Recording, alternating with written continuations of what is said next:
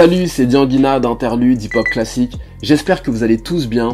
Tout d'abord, je tiens vraiment à remercier toutes les personnes qui nous ont envoyé des messages de soutien par rapport à nos dernières vidéos, notamment celle sur le jour où 50 Cent s'est fait tirer dessus. Ça fait vraiment chaud au cœur. On abat à chaque fois un vrai travail pour vous présenter des vidéos de qualité sur des faits précis.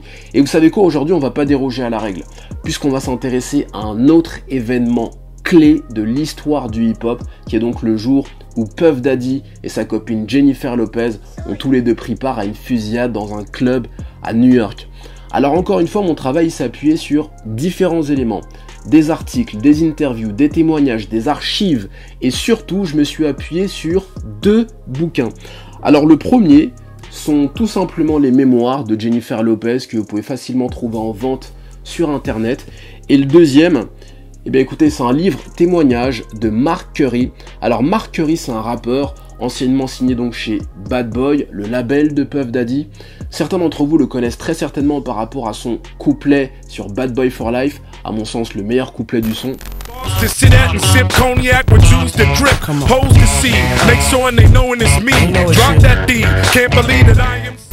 Et donc dans son livre, Mark Curry donne un témoignage sur son retour d'expérience par rapport à ses années passées en tant qu'artiste chez Bad Boy. Alors avertissement, pour toutes les personnes qui kiffent Puff Daddy, qui kiffent son succès, son histoire, son flow tout ce qui va avec, ne lisez pas ce livre. Je vous le dis, vous allez tomber de haut. Je suis tombé de haut. Comment est-ce que Puff a totalement euh, dépouillé Biggie? Comment est-ce qu'il a ruiné 112 Comment est-ce qu'il a trahi Shine? Tout y passe. Des petites mesquineries aux grosses trahisons. Mais ce que je trouvais surtout intéressant dans ce livre-là, c'était l'éclairage qui était fait du camp Bad Boy sur toute cette affaire de fusillade. Donc, sans plus tarder, allez, on y va.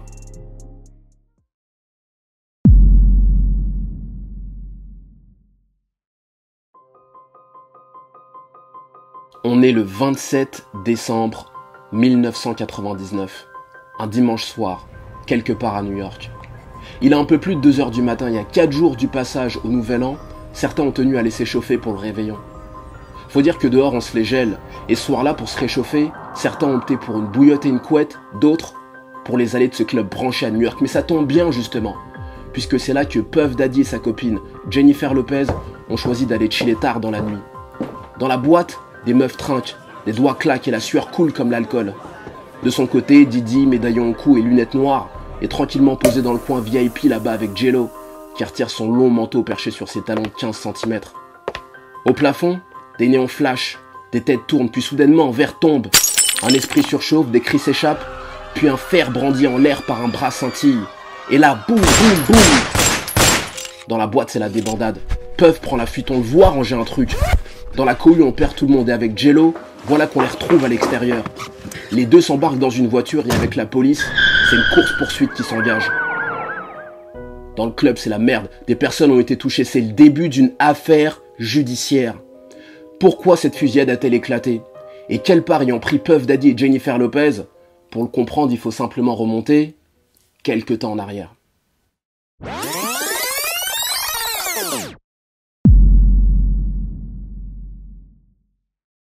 D'abord, faut que je vous dise, ce récit, c'est l'histoire de deux artistes qui cherchaient pas uniquement le nom, mais également le renom.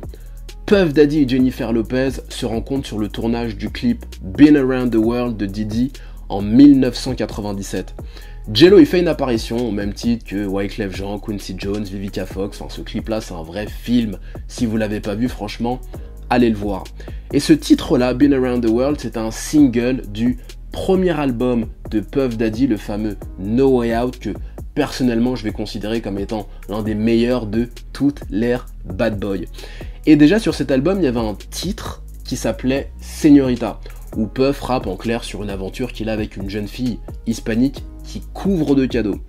Alors, bien que ce soit un son qui était entièrement écrit par Jadakis, j'ai toujours eu le sentiment, l'impression que c'était un son déjà de Puffy, pour Jennifer Lopez déjà en 97. Te quiero te quiero Honey, I keep you hot and wet, flooded with ice. You can spend all day, chill all night. Et d'ailleurs, ce qui est drôle, c'est que lorsque vous mettez en opposition ce son-là de Puffy avec un son de Jennifer Lopez comme My Love Don't Cost a Thing, qu'elle fera bien des années plus tard, ce sont deux sons miroirs. Lui rappe sur cette liaison qu'il a avec cette fille hispanique qui couvre de cadeaux, de bijoux, de diamants tous les jours, et elle chante qu'en gros elle n'a pas besoin de tous ces bijoux-là pour être heureuse et amoureuse.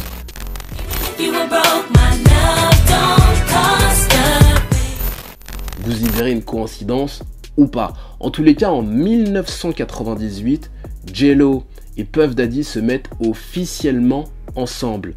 Lui continue la promo de son premier album, le No Way Out, sorti quelques mois plus tôt, fin 97, et elle prépare la sortie de son premier album, le On the Six, qui sortira quelques mois plus tard, en 98. Donc on est vraiment à ce stade-là au milieu de deux grosses échéances pour les deux, ce qui fait que déjà médiatiquement parlant, vous sentez l'intérêt que les deux ont à être ensemble à ce moment-là. Alors, deux petits détails que je dois vous préciser, pas des moindres. En 98, à ce moment-là, Puff Daddy, il est absolument pas célibataire. En fait, il est en couple avec une mannequin qui s'appelle Kim Porter. Et Kim et lui viennent d'avoir un enfant quelques mois plus tôt. Ce qui fait donc que naturellement, le premier réflexe de Puffy à ce moment-là, ce sera de nier sa liaison avec Jello en disant voilà, c'est une amie, ouais, on a travaillé sur certains projets ensemble, mais ça va pas au-delà. D'ailleurs, Marcury dans son livre résumait très bien la situation justement en disant Lorsqu'une photo des deux est devenue virale dans People Magazine, Kim a su que Puff lui avait menti à propos de la nature de sa relation avec Jennifer Lopez. Au début, Puff semble avoir peur de ce qui se passerait si Kim découvrait. Mais dès que lui et Jennifer Lopez ont commencé à parler de mariage, c'était devenu le cadet de ses soucis. C'était son état d'esprit en décembre 1999. Alors oui, je sais, à ce stade-là, vous vous dites, euh, Puffy, le salaud, euh, Jennifer Lopez, elle était certainement beaucoup plus euh, sérieuse, fidèle, avec de grands principes sur le couple, etc. etc. Bon, bref. En tous les cas, c'est tout le contraire, sachez-le. Elle, elle était carrément mariée et mariée depuis deux ans. Elle était mariée avec un mec qui avait le malheur d'être employé de restauration. Et lorsque vous lisez les mémoires de Jennifer Lopez, il y a une chose qui saute aux yeux, c'est que, ouais, effectivement, c'est une femme extrêmement déterminée, forte, etc. Mais c'est surtout une personne extrêmement carriériste. Et lorsque Puffy va lui faire du rentre-dedans et qu'elle va capter, intégrer l'intérêt qu'elle a à être avec lui très concrètement à ce moment-là, aussi pour sa carrière, elle va jeter son gars et demander le divorce en si peu de temps que le pauvre n'a rien compris à l'histoire. You know, I didn't. I thought he was like, you know, ick. I didn't like him because, you know, I, Sean and I were very different that way. You know, I was very like family oriented and a, kind of a, you know, the married type. You know, I was actually, when we first worked together in the video, I was married, even though I was going through problems, nobody knew that. You know what I mean? C'est que bien des années plus tard, que son ex-mari dira à la presse que Jennifer Lopez le trompait avec Puffy à l'époque où ils étaient mariés, qui vivaient toujours sous le même toit. D'ailleurs, ce sera la nature de ces déclarations lors d'une interview qui sera ensuite retranscrite sur le magazine féminin Female First, où justement il sera dit Owen Inoa, qui a épousé la belle Latina en 1996, prétend que vers la fin de leur mariage, Jello se précipitait dans la salle de bain en disant qu'elle était sur le point de tomber malade à chaque fois qu'il voulait lui faire l'amour. L'ancien serveur a aussi dit à l'émission de télé Young Sexy and Spoiled qu'il croit que Jennifer Lopez l'a trompé avec le mania du rap Puff Daddy à qui elle s'est ensuite fiancée. Se remémorant les derniers jours de leur relation, Owaninoa disait Les gens la voyaient à Miami avec Puffy et ça a créé la rumeur folle selon laquelle elle me trompait et ça m'a énormément contrarié. Donc vous voyez que dès le départ, la relation entre Puff Daddy et Jennifer Lopez était basée sur des mensonges des deux côtés. C'est jamais de bonne augure pour la suite.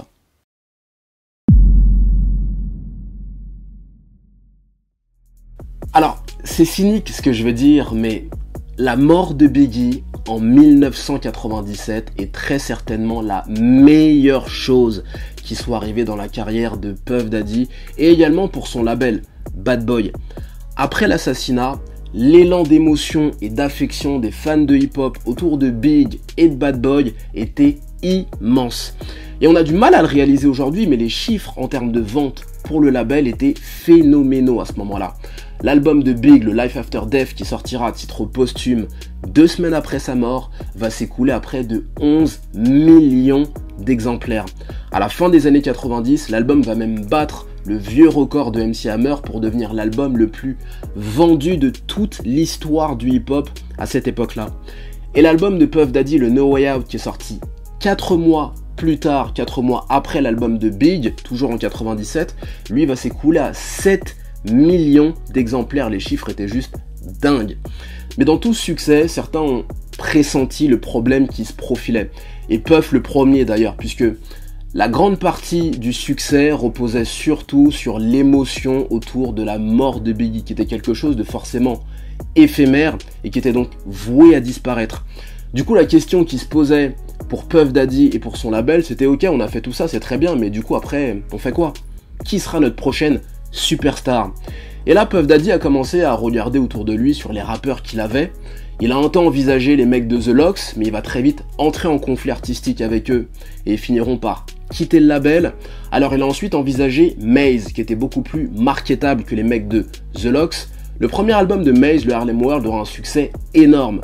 Le truc, c'est qu'à partir de l'enregistrement de son deuxième album, Maze va se découvrir une nouvelle fois religieuse, puis changer son approche au rap, ce qui faisait son succès jusqu'alors, avant de totalement abandonner le hip-hop pour devenir pasteur. Alors Puff va se résoudre dans un dernier temps à promouvoir Black Rob. Black Rob qui est un ghostwriter à la base pour Bad Boy depuis 96. Certains d'entre vous le connaissent très certainement pour son classique Wow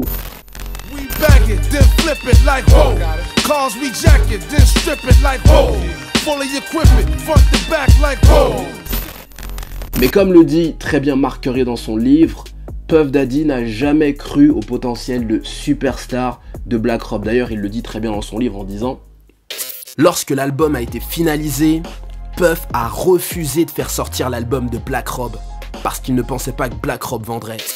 Et donc, c'est là que Clark Kent, le célèbre DJ Clark Kent que vous connaissez certainement pour avoir produit tous ses classiques pour euh, Jay-Z, pour Biggie au milieu des années 90, va parler à Puffy de jeune rappeur de Brooklyn que tout le monde veut signer. Il a une tête de bébé, une attitude de voyou, il connaît strictement rien au business et pour couronner le tout, il a une voix qui ressemble très pour très à celle de Biggie et il s'appelle Shine.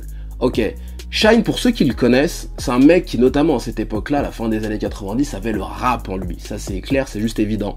Et il en arrivait même presque à parler un petit peu comme il rappait, c'en était même drôle. I was rapping every day, you understand? I just had fever.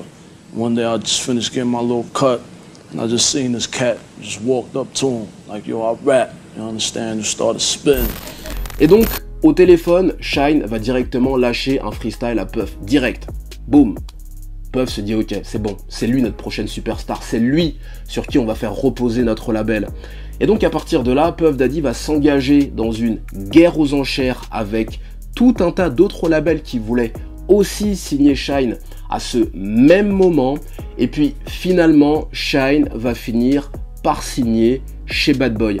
Il y a un truc qu'il faut comprendre, c'est que dans la volonté de Puff d'absolument signer Shine, c'était la possibilité de pouvoir surfer encore un petit peu plus sur l'élan d'émotion autour de la mort de Biggie. Mais la signature de Shine, tenez-vous bien, elle lui vaudra 1 million de dollars direct, simplement pour son contrat, je ne parle pas d'avance ni de budget, 1 million de dollars pour la signature, une Rolex, trois voitures de son choix, deux maisons et 100% de ses publishing, le contrat était juste énorme. C'était le plus gros contrat de l'histoire du hip-hop pour un artiste jamais signé à cette époque-là. Et donc, dès 98, Shine va se mettre à enregistrer pour Bad Boy, d'abord sur la base de collab, notamment avec Maze, avec Total, et notamment sur le deuxième album de Puff Daddy, le fameux Forever, où il va enregistrer effectivement le titre classique Rivers avec G-Deb, Sauce Money, euh, Redman, Busta, enfin bref, toute la clique.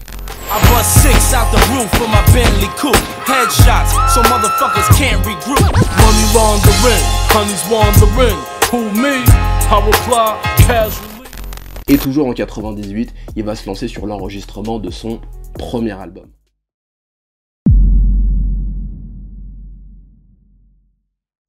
On est le 26 décembre 1999.